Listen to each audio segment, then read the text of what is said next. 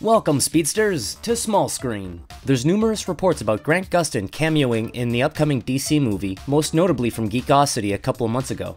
Of course, we wouldn't just do a video unless we had some fresh intel on the subject. And we do. As always, please like, subscribe, and crack that notification bell. It helps more than you know. Now with that out of the way, hold on to your butts. Okay, Grant Gustin, who's been playing the Flash in the CW's TV show since 2014, has been wonderful in the role. His performance is one of the main reasons why people love the series so much.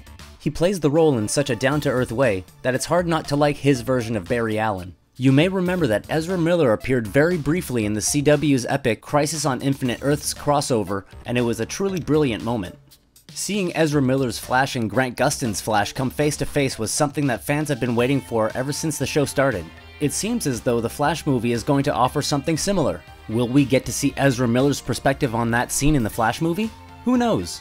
According to the original report, the Flash picture is going to run through the Arrowverse, which means that Grant Gustin might not be the only CW actor to appear in the movie.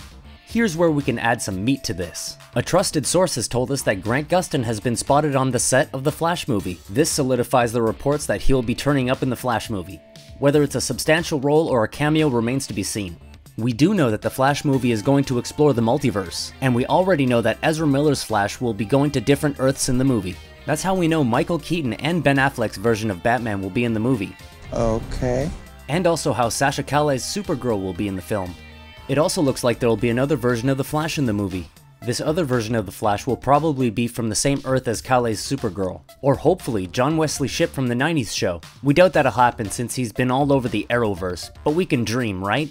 However, what other versions of the Flash may appear hasn't been confirmed yet, so stay tuned for that news. The Flash film is slated for release on November 4th in the UK and in the United States. Of course, if you're a regular here, you'll have more answers from us about the Flash way before then. So make sure to like, subscribe, and crack that notification bell for updates. And remember, we do read all the comments, so feel free to let us know how you feel about all this. Thanks for watching, and we'll see you next time!